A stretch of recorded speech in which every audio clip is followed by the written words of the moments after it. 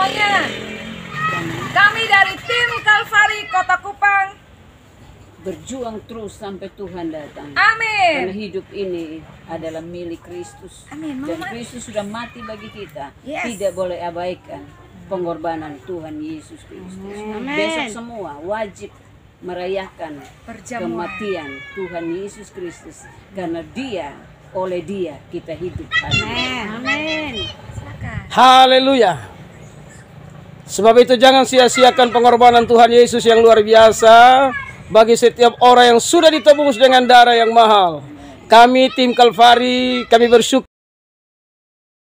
ini karena anugerah, karena kemurahan Tuhan. Sekalipun perjalanan pelayanan kami ada banyak tantangan dan persoalan, tapi Tuhan memberikan kami kekuatan untuk terus melangkah di dalam dunia yang fana ini karena Tuhan Yesus menyertai kami semua.